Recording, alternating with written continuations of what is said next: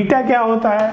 Common emitter configuration में beta जो है वो 50 है। बीटा को हम डिफाइन करते हैं I C upon I B this is the beta common in in used as a common emitter configuration one kilo ठीक है? इनपुट रेजिस्टेंस जो इनपुट रेजिस्टेंस है हाँ रेजिस्टेंस इनपुट साइड की जो रेजिस्टेंस है, वो कितनी है यहाँ? वन किलो है। तो वन किलो मतलब वन थाउज़ेंड ओम है।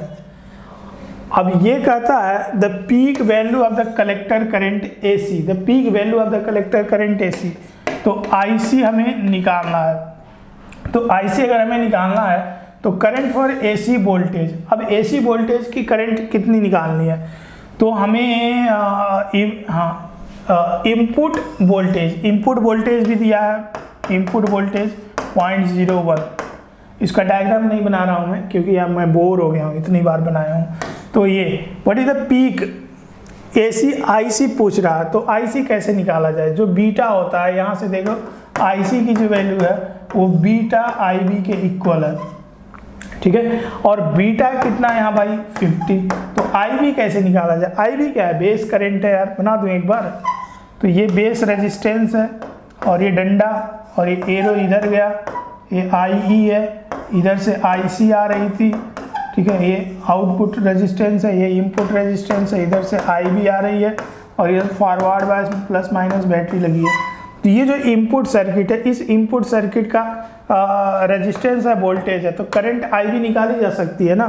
तो यहाँ से आईवी की जो वैल्यू आ जाएगी voltage input voltage upon input resistance तो input voltage point zero one है और इनपुट रेजिस्टेंस वन थाउज़ेंड है।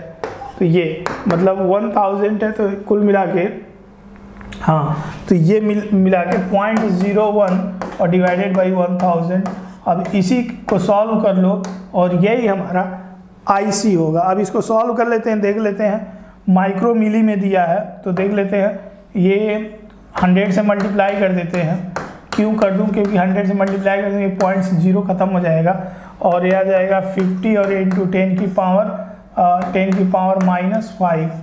Micro milli में दिया है तो टेन की पावर सिक्स से ऊपर नीचे मल्टीप्लाई कर दो तो माइक्रो में आ जाएगा। तो यह आ जाएगा फिफ्टी इंटू टेन की पावर वन, और ये टेन की पावर माइनस सिक्स एम्पियर आ जाएगा। इसका मतलब ये हुआ कि 500 माइक्रो एम्पियर 500 माइक्रो एम्पियर तो मतलब डी ऑप्शन। सही है इसका।